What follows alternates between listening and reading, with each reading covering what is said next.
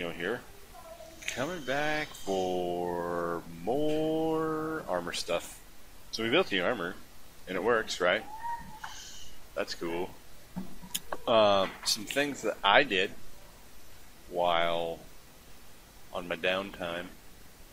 Things that, I mean, it's not really relevant um, in terms of your learning, but I went ahead and added registry, uh, registry recipes for each of those things, right?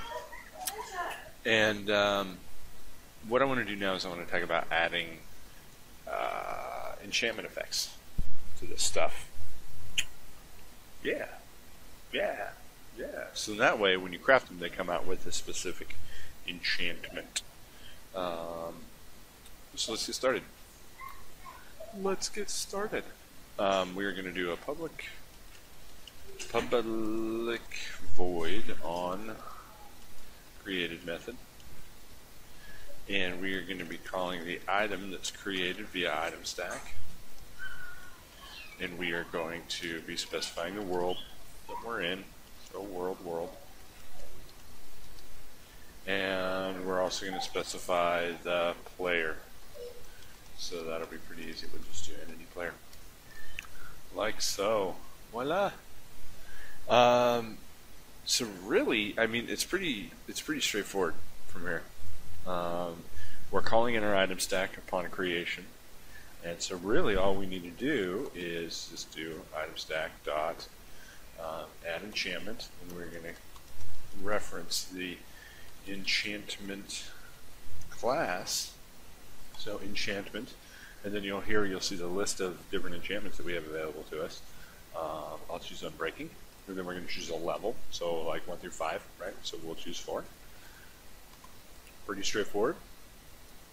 And uh, so we'll jump into game. We'll test this out, see what happens.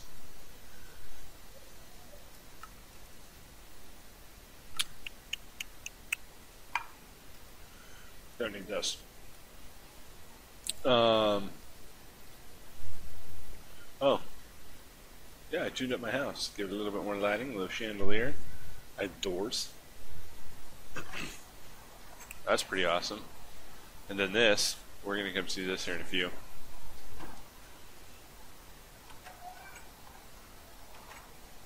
Alright, so, um, we've got our stuff right here, our stuff.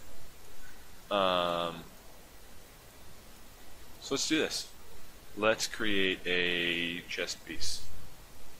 Chest piece, we create it. See, we've got our Unbreaking 4 enchantment. Right? Now, the thing is, is everything that we craft is going to have this Unbreaking 4 enchantment. Now, you may want to actually have, or to create these and have different enchantments on each one. Right? So these are all Unbreaking 4. So we're going to kind of jump in and um, a little bit of what we did last night in terms of you know specifying which thing it is. Um, but what we want to do is we actually we, we more or less we need to get the item that's in that item stack. So um, we will do an if let's put this down. I like the room. If um, item stack dot get item equals um, our uh, helm, then what we want to do is we're going to do just like we did before. We're going to say item stack dot add enchantment and enchantment dot. Uh, what do we want to do? Let's do aqua affinity. And aqua affinity is uh, the ability to dig underwater, and I think you move a little bit faster and we'll give that a 2. Right? Um, and then we can do an else if item stack dot get item equals neocraft dot um, and we're going to do the chest this time. So if it equals the chest, what are we going to do? We are going to copy paste that because we're lazy. And we're going to say Oh, what do we want to do? Let's do fire protection. Fire protection. Booyah. And Elsif. And we'll just copy paste this as well. Um, except this is going to be the legs. And we'll copy this and paste this down here. And what do we want this one to be? Let's do, ooh, let's do thorns. Thorns, and you know what? Let's make fire protection a 4. Let's make this a 5. And it's not legs this time, but the butts. Making the butts. Um, and this will be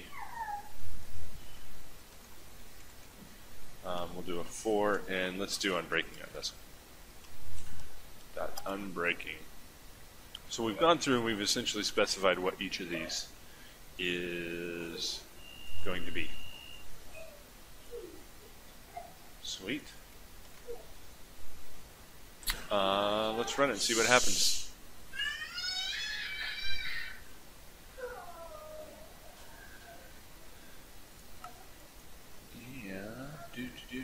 Do, do. So, this is all around unbreaking stuff. Let's take a peek here. What was this going to have? Fire protection. Aqua affinity. Oh, I'm just barely going to have enough. Thorns and unbreaking. Four, five, four, two. So just like we specified. Uh, hello there, friend. Welcome. Welcome. All right.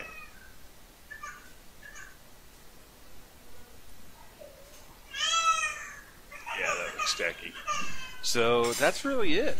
Um, you know, I mean, the biggest the biggest challenge is, of course, you know, going through and actually making the armor.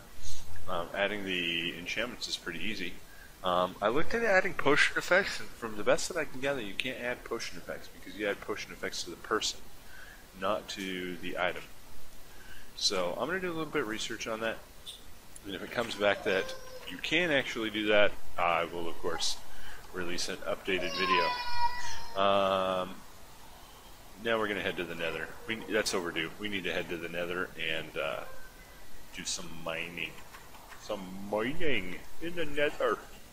So I'm going to check out and we're going to go do that. And I'll see you guys then. This is Neale. I'm out.